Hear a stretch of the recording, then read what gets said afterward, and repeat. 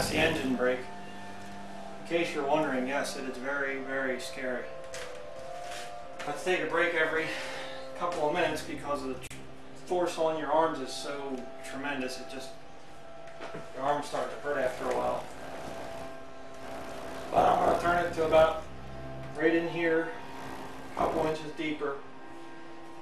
So I guess I'm gonna shut it off. I just got the outside done um, of my strange multiple axis turning thing here. Let me kind of get in here. Uh, you can kind of see it there.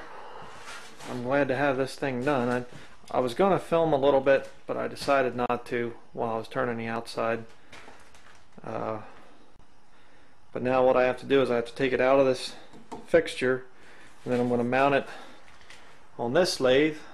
This is my new Powermatic lathe.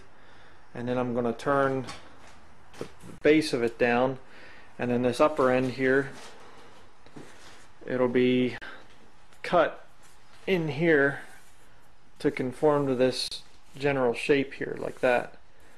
So it'll be it'll be a pretty neat piece when it's done